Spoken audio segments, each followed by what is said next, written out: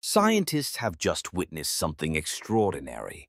For the first time, the James Webb Space Telescope has directly imaged a planet, a glowing orange world, 95 times the mass of Earth, orbiting a young star just 34 light-years away. This isn't an artist's impression. It's real a Saturn mass planet caught in a glowing blue debris disk, shaping its own solar system as it forms.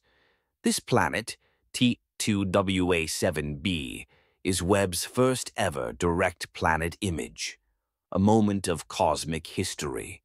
How did Webb see it? What does this mean for the future of exoplanet exploration? The answers are bigger than we imagined. Watch the full story behind Webb's first exoplanet discovery, link in description. The universe just got a little more real.